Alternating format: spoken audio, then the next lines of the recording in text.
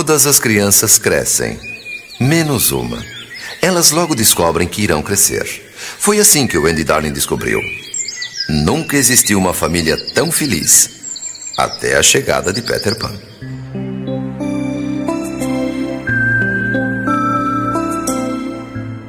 Toda noite, a senhora Darling contava uma história às crianças na hora de dormir.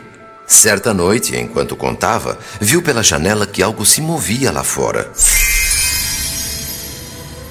Poderia jurar ser um menino pequeno. Como pode ser? Este quarto é no segundo andar.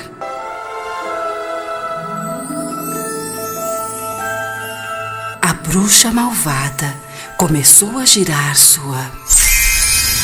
Novamente pensou ter visto algo se movendo. Porém, quando olhava, não havia ninguém lá.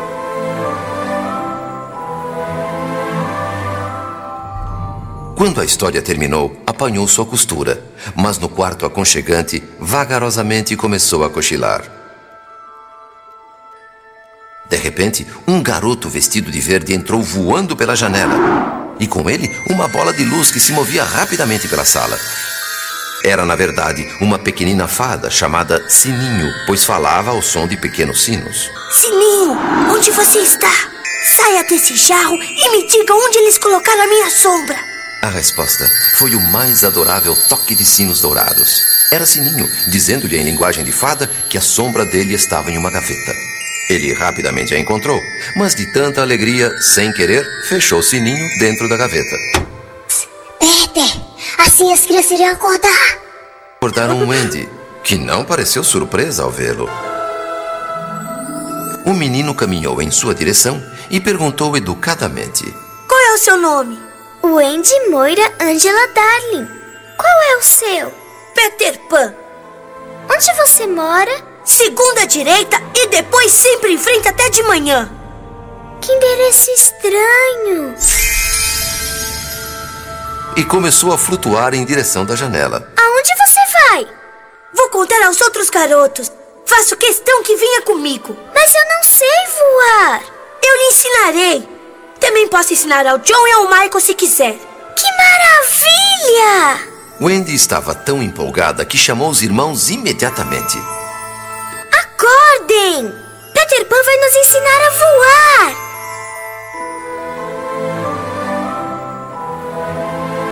Pensem em coisas adoráveis, maravilhosas, e tais pensamentos farão com que vocês flutuem. Então Peter jogou um pouco de pó mágico sobre elas. Balancem os ombros e soltem o corpo.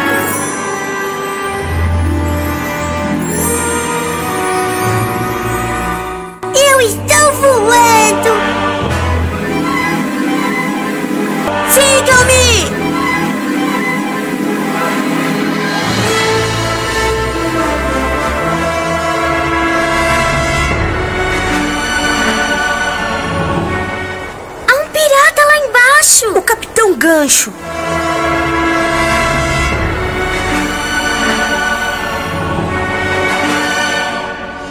Sininho contou a ele sobre as crianças capturadas. Peter! Peter! O Capitão Gancho sequestrou as crianças da granja dos meninos em seu navio!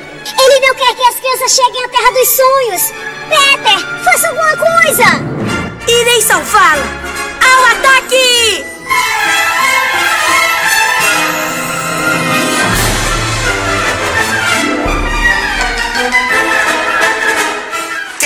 Quem é você, intruso?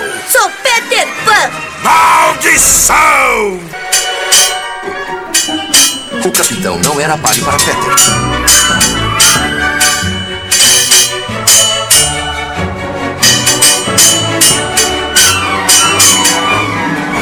E rapidamente arrancou a espada da mão dele.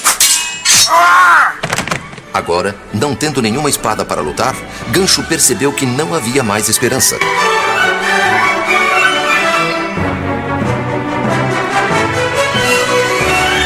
Capitão James Gancho, adeus. Mal educado!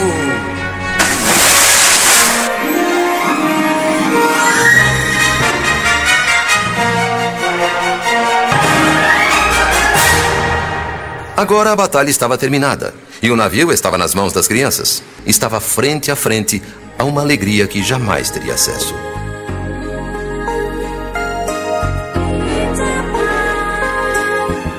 Espero que todos cumpram suas obrigações como bons marinheiros.